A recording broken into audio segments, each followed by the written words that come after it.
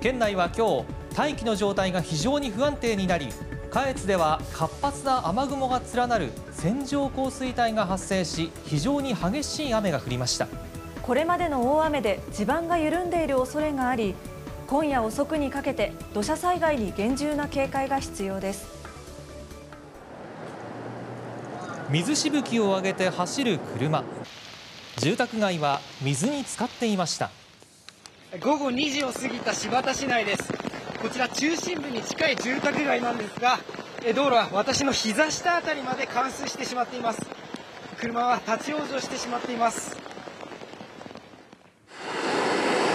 前線や低気圧の影響で発達した雨雲が流れ込み大気の状態が非常に不安定になった県内。下越と山形県の一部では活発な雨雲が連なる線状降水帯が発生。これを受け気象庁は県内で初めて顕著な大雨に関する情報を発表し最大級の警戒を呼びかけました。もうどうしようもないです。あまあ雷も鳴ってたので、まあ、すごいですね、ちょっと車から降りられない感じ。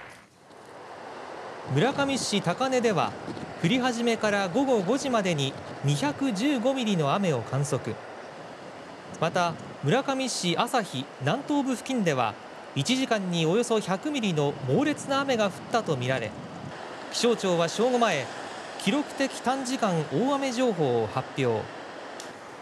村上市は土砂災害の危険が高まっているとして5553世帯に避難指示を発表し避難を呼びかけています。県内は明日朝にかけて非常に激しい雨が降る恐れがあります。特に下越ではこれまでの大雨で地盤が緩んでいるところがあり今夜遅くにかけて土砂災害に厳重な警戒が必要です。